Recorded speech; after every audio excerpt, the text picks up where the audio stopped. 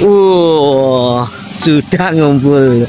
Wih, ada youtuber best berkah S2 Panflet. Funblade. Eh, jangan lupa mampir di Best Berkah S2 Funblade teman-teman. Mas Habib langsung nih hari ini lagi ngerjakan apa Mas? Di kandangnya ini kan. Kandangnya sendiri oh, mas. Saya kandangnya pipi iki Pak Ji. Eh? Kandangnya Pak Ini kandangnya Mas Muda, di disewa Mas Habib. Bukan sewa kita kerja bareng. Katanya nggak mau terjun lagi dia broiler. Loh, kemarin ini Mas. Selalu terjun, Ini Mas. ceritanya gini Mas. piye piye? Ini sering bikinin kandang orang, Dah. kandang orang nggak punya kandang. Akhirnya kan anu, ditanya rambut ayam gimana? Dia kebingung. Ini kasih ada yang ini apa yang ini. Kalau saya emang konten kreatormu nih sekarang. Ini kandangnya belakang rumah panjang-panjang banyak ada dua kandang Mas Habib ini. Tapi karena kesibukannya buat pertama rakit blower, blower ke jadi pemborong, pemborong sekarang punya ciptaan kandang rak. Ini beliau, ini berkat awalnya ini beliau. Terus kita eh, bekerja sama buat konten-konten akhirnya rame Mas Habib kerjain di Lamongan kemarin. Lamongan mana? Lamongan dongpring. Dongpring, podo atas kok kono. Podo dongpring. Jadi ya. Terus Ini Mojokerto. Mojokerto, heeh. Jadi akhirnya Ya. ditanya orang ayamnya gimana? Bingung kan dia. Oh iya bingung. Pelihara sendiri gitu, periode. Terus ini yang dikerjakan. sudah makan. Sudah makan. Ayo, ke kado yo. Kalau mandi Mas Pep. Ayo sampai non sih. Sekarang talentnya gantian. Pak Suwaji, swaleh malah ngomong. Udah banyak. Hei, langsung ada atas, bawah enggak ya? Lihatnya bekas kolam. Ya, bekas sekolah. Bekas kolam. Jadi yang dihasilkan kandang atas. Wih, anginnya. Ayo, ayo, ayo, monggo. Ini sepertinya mati lampu. Mati lampu. Loh, wayangnya wayangnya po abeh podo lagi. Sayangnya nggak pakai ini aku apa? Center. Eh, jadi pemborong apa APK? Jadi pemborong apa APK? Anu ABK wis. APK. Wah. Piye Mas kabare? Alhamdulillah, wis gak kayak blower nah ya. Enggak. Barangnya dhewe ya. Eh, sayangnya pas mati lampu kameraku nggak kelihatan. Nggak kelihatan. Anu ya Mas, sebentar. Cahaya HP, cahaya HP. Cahaya HP. Sorry, pas mati lampu mah teman-teman di sini. Nah, ini masih pakai rakitan. Bentar. Masih pakai rakitan. Aduh, nggak terang ya. Terang. Dan ini buatan sendiri semua. Ini Oh, coba masih. Aduh, sayang sekali pas mati lampu. Ini satu nggak kelihatan, oh bos. Nah, kelihatan. Eh, depan ini kandangnya siapa lagi? Om? Aman. Nanti bocah wawan. Apa ngom. Koncoku lho. Koncoku Ora. sekolah. Kakak, iya sekolah konco dolan. Semapring kan dulu. Iya. Semapring. Ya, ya. Ini saya lihat kesederhanaan kandang ini. Apa yang kita dapat rahasianya, ilmunya ini. Wah, ayamnya besar besar, Pol. Ini ini ini. Teman-teman, ayamnya besar besar. Wih, mau panen sepertinya. Jos, sis, jos mantap. Bobotnya agak 2 kilo kayaknya nih. 2 kiloan ini. Saya, saya pegang sebentar. Ini tapi belum ada. Uh, uh gila. Mantep. 2 kilo lebih nih. Kelihatannya ayam kecil tapi dipegang kok. Kayak batu ini ayamnya. Wah, besar teman-teman. Lagi proses kasih makan. Satu peta ini mm, 4 meter sebenarnya ya, kurang lebih 4 nggak ada meter tapi dikasih tempat pakan totalnya 3. Dan ini masih pakai sedek paranet. Dur. Duh, duh, duh, duh. Ah, sederhana dan ini tempat minumnya masih pakai tandon-tandon biasa seperti ini. Ini tempat nimbang bobot ayamnya. Saya nggak bisa, aduh, nggak bisa pegang langsung. Hari ini nggak nggak bawa asisten, saya nggak bawa talent. Eh, Mas Habib di tempat gelap, saya nggak bisa. Bismillah, saya mau timbang satu ekor dulu. Coba beratnya berapa? Ini kan masih umur 30 seperti ini. Wih. Ah, jatuh nggak bisa, sorry. Lah, langsung eh, review aja, review aja. Sepertinya kandang ini lebarnya adalah 10 atau 9 meter. Nah, di samping itu menggunakan dua tingkat, sep- tapi cuman di maksimal satu tingkat. Mungkin ada kendala ya untuk dipakaikan dua tingkat. Dan ini tengahnya pakai 2 meter, sampingnya ini satu meter dan sebelahnya satu meter. Jadi pas. Dia pemasangannya, pemasangan terpalnya itu dari dalam pakai plastik putih biar dapat cahaya ini. Kalau masuk kandang ini cuman hanya lampu satu aja sudah terang sampai pojok sana. Jadi sangat pas lah. Nah, kemarin tanya sore ini saya mau lanjut pembahasan yang tanya masalah sedek itu bagusnya di depan atau di samping. Nah, ini jawabannya. Itu tergantung jumlah blower dan panjang kandang dan kebutuhan teman-teman. Nah, gimana? Ini kan lebar 10 meter ya. Ini kan lebar 10 meter.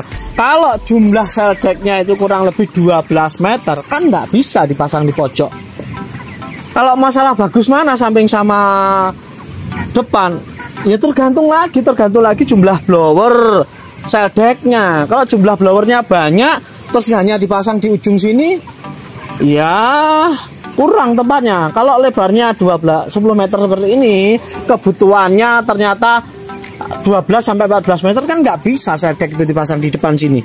Pasti dipasang di samping. Maka dari itu dipasang dari di samping misalkan 12 meter, berarti 6 meter kanan, 6 meter kiri gitu.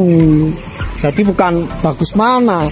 Ya tergantung itu tadi eh, jumlah blower dan nanti berapa lebar sedek yang digunakan nanti ketemu terlalu lebar sedek ya nanti ya nggak bisa maksimal anginnya anginnya jadinya nggak nggak nggak bagus jadi harus pas seimbang Kalau yang ini baru dua ini. Dua ini. Yang ini. Eh, dua ini ya. Pada umumnya per ekor itu dari dua periode Untuk kemarin hasil ya, total tujuh ribu. dapat tujuh ribu mas Habib mantap Ini listrik Ini satu apa? Satu meter persegi gini, ada satu meter kali empat meter itu delapan 80. delapan puluh 80 liter. delapan puluh ekor. 20. per meter 20 emang emang betul pak Dari dulu gitu. dari gitu 16 aja udah yang sistem. Kalau dulu ini mbahnya mbahnya rak di sini beliau ini. Kalau saya nerusin yang punya konten. Nah ini dari apa? Dari 4 meter ini tempat makan berapa? Ini 3 sampai 4. Oh tiga atau empat ya? 3 sampai 4 Iya betul, benar benar benar. Iya. berapa ibu bobotnya 2 kilo lebih juga ya Ada dua Sama kilo. dengan yang besar 2 kilo ya kalau ekoran lebih. lebih Coba ini. Uh, berat coba mas Ini lantainya kan bersih gitu ya mas? Ah, Nggak pernah cuci ini. belum pernah cuci lantai. umur berapa mas 30. 30 2 kilo tadi tak, tak pegang loh ayam ini kok 2 kilo lebih mantep mantep itu nah sudah di kandang rak teman-teman pak pasti puas Ininya bersih benar lagi apa tuh? Kakinya kan? kakinya apa Yang di sini kan agak. Pasti warnanya udah. pas beda Nah ini bersihin ini berapa sekali? Ini setiap hari kita. kita bersihin mas ngomongin ya ngomongin ini kan umur 30 biasanya kan baunya minta ampun kalau amonia ya umur 30 ini cuma nyala dua dua kecil lagi ini apa enggak rakitan. eh, bau rakitan cuma nyala dua populasi berapa ini 4000. Ya, 4000 loh. Pas itu mengenai bau, mengenai apa? Dia ini sendiri ya. iya. Saya beli itu dari menyebut eh, ini ini Gak apa-apa dari Pok Panda. dari Pok Panda. dari Ciomas kan Java ya. oh, dari Ciomas ya. Jadi apa tuh pengatur apa tuh? Pengatur Tem eh, panel. Jadi kandang ini cuma nyala dua aja angin sudah lebih teman-teman. Jadi memang benar. Ini kebetulan memang lap- mati lampu dan menggunakan genset seadanya, secukupnya. Dia ada genset bensin sederhana aja. Ini nyala dua, kandang masih enak dan amonia nggak tinggi. Cukup lah oksigen, ya mas ya. Terbukti di kandang ini cuma nyala dua blower loh bro. Ini nggak blower besar dimatikan karena nggak kuat ya gensetnya mas ya. Dibantu. Lima ribu watt lima ribuan gak kuat? Ya gak kuat ya? Kuat. Dua aja dah wes.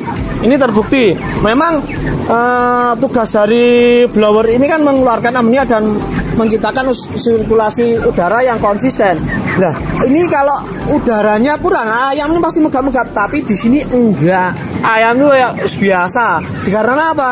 Dikarenakan eh, pohe ini diambil rutin. Maka dari itu amoniaknya terjaga sekali. Dinyalakan dua blur aja udah wes oke. Nah ini terbukti kalau kandangnya itu dirawat beneran. Kotorannya ini masih sedikit. Habis diambil mas ya? Habis diambil kotorannya. Ini rencana untuk pinggir ini ma- mau diisi dua. Sepertinya nyaman diisi satu rak aja kayaknya bosnya ini. Enak dikasih ini satu rak aja. Ini lihat di umur 30 ini kotorannya bersih. Bersih teman-teman berarti tandanya ini benar-benar dirawat sekali. Eh, ayam nih. Nggak mau kandangnya itu terlihat bau eh terlihat di dari dari baunya nggak mau. Terus terlihat kotor tapi bersih. Terus dari ini sekemnya ini pakai bekas kayu ini. Pakai bekas kayu teman-teman ini ngomong sekali kenapa kok banyak ternak yang pakai bekas eh, sisa kayu murah? Di sini murah dan nggak banyak dipakai. Gratis lah kadang-kadang gratis. Pakainya ini pakai ember. Ember satu ember berapa kilo ini mas? 5 kilo satu tempat makan full ya? Bisa langsung ya? Jadi cepat teman-teman. Inilah cara memberi pakan ke kandang rak Yuk kita lihat praktek langsung. Mana yang belum dikasih nih? Nah, katanya wah ribet. Gak apa-apa mas ya ribet. Yang penting hasilnya ya. Siapa bilang ayam 5000 dikerjain sendiri. Alhamdulillah pokoknya. Ya satu full.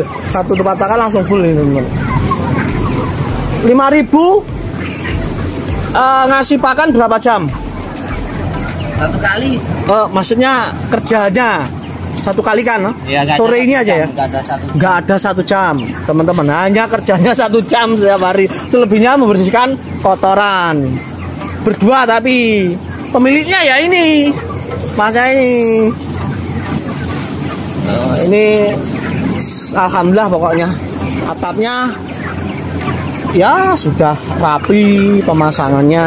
Oke lanjut aja kerjanya. Saya ganggu nanti nggak selesai selesai. Nih ayamnya.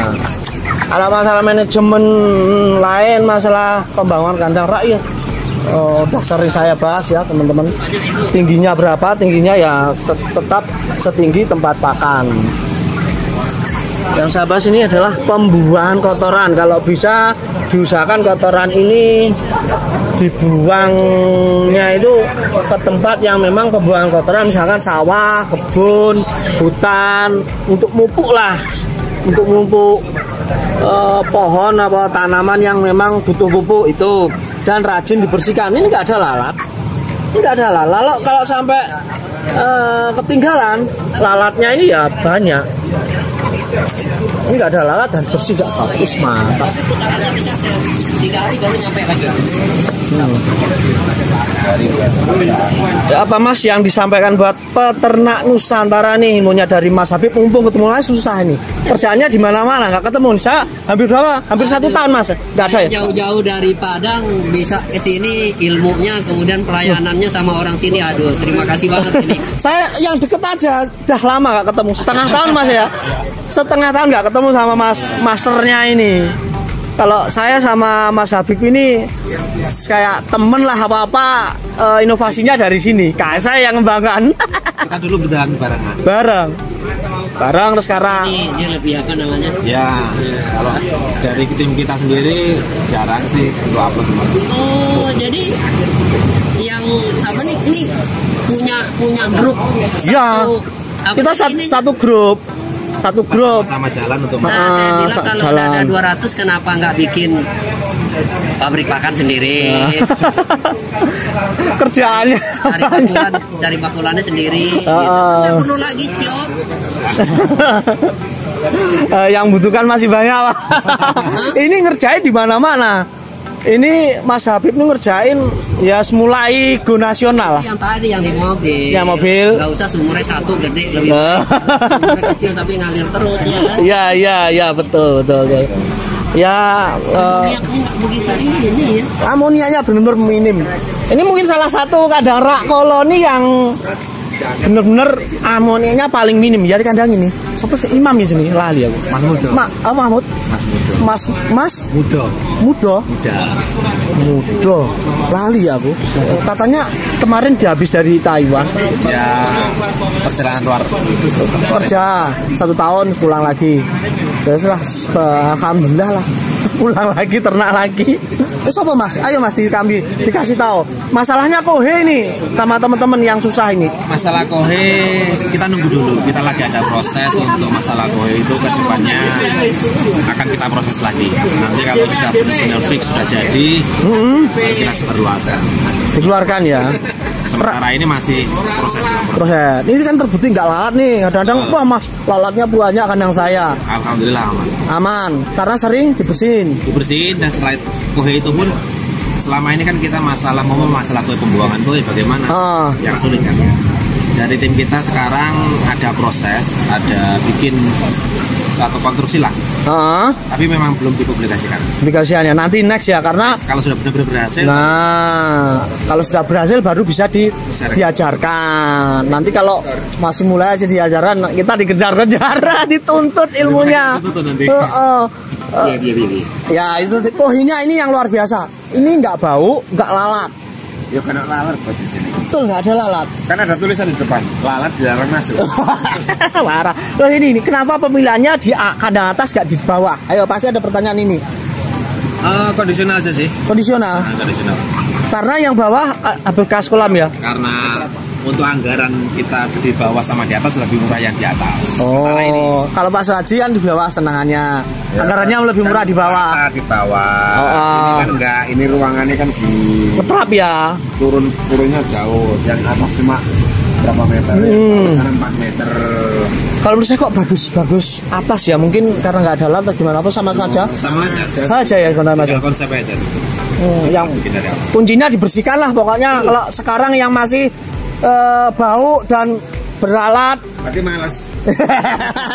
aduh kalau sudah ketemu sama profesornya ini males lah sih itu pertanyaannya ya. Heeh. Malas Cem- naik. Eh, sama ini populasi. Nanti kalau ini kan orang-orang kan mau bikin kandang rak kan pikirnya populasinya agar eh, tujuannya untuk besar. Kan sebenarnya nggak populasi mas ya? Bukan. Apa? apa? Ya ya. Jawab langsung. Salah satu ini Mas Habib. Apa yang dikejar apa ini? Kenyamanan kita kalau. Kenyamanan peternak? Kita budidaya bagaimana dan ada hasilnya. Hasil ya Mas ya? Ke populasi banyak lah nggak hasil kan? Kalau manajemen amburadul pun nggak akan hasil. Nggak hasil. Itulah teman-teman. Jadi jangan salah persepsi Pak. Swaji juga ya. Berulang kali tak bilangin ya. Populasi sedikit gaji banyak. Perbandingannya dengan populasi besar gaji kecil. Pilih mana? kan pengennya kan orang kan beda di rak kan biar populasinya kan nambah Ya, nggak usah kejar populasi. biar Kejar. nyaman dulu intinya Hmm. nyaman kalau udah nyaman baru kita kembangkan itu masa populasi itu akan lebih lancar Oke, nyaman peternaknya yang peliharaan, nyaman ayamnya, nanti hasilnya juga nyaman hasilnya nyaman hasilnya pas terus ya. Terbukti karena ini udah berapa periode? Dua periode ini mas yang Masih dua periode kan ini. Yang lain kan banyak. Yang lain di Pak Swaji aja udah berapa? Untuk di Pak Masih berapa sih? Masih berapa? Satu tahunan ya? satu tahunan, oh, dua tahun ya. Kalau Mas Habib udah banyak, saya sering ngonten Pak Supri dulu awalnya dan kandang-kandang lain. Yes, good lah buat timnya Mas Habib dan Pak Suwaji ini selalu banyak menginspirasi di channelnya Konam Sensei. Eh, terima kasih. Ini mungkin kita tutup aja kontennya karena nggak ada cahaya ini capek tangan saya Pak. ini eh, Mati lampu ya Pak? Bah, berkah selalu buat timnya berkah S2 Fun Blade. Kalau butuh eh, baling-baling ini apa? Baling-baling rakitan di sini tempatnya. Teman-teman, yang biasa saya jual di Shopee ya ini yang buat yang yang anu apa ya, yang buat ini cuma sekarang sudah lama Kak jualan Shopee. Nanti insya Allah kalau teman-teman ingin yang model sederhana kayak gitu untuk tempat-tempat yang susah terjangkau akan saya sediakan. tetap Nah saya masih sibuk repot, sorry. Bener ya nih ya. Ke mana aja pasti ketemu tiga orang ini. Oh, oke.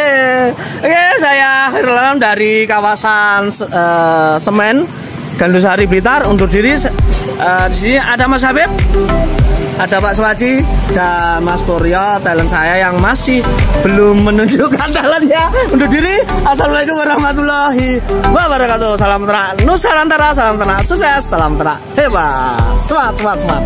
Ketemu teman-teman di Nusantara.